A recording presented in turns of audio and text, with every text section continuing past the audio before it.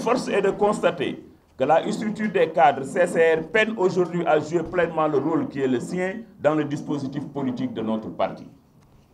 Cette situation a engendré une démobilisation de l'écrasante majorité d'entre nous, estimée à quelques 4000 membres juste après quelques temps après notre victoire en 2012. À cela s'ajoute la non-implication des cadres dans la mise en place de certaines instances de la coalition Beno Bokuyakar.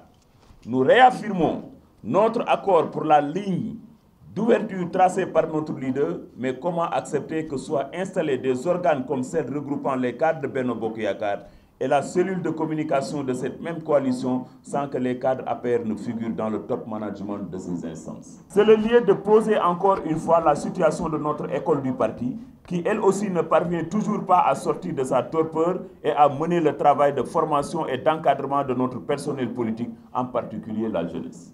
Au pouvoir. Donc c'est un appel que nous lançons. La réalité, c'est que l'école du parti ne fonctionne pas. Nous avons beaucoup de respect, ça existe dans notre nomenclature, c'est dirigé par un parlementaire, un éminent avocat, Maître Djibriloir, mais nous demandons à ce que la direction du parti fasse fonctionner cet instrument-là. Parce que nous en avons besoin dans ce parti-là. Nous avons des besoins réels de formation.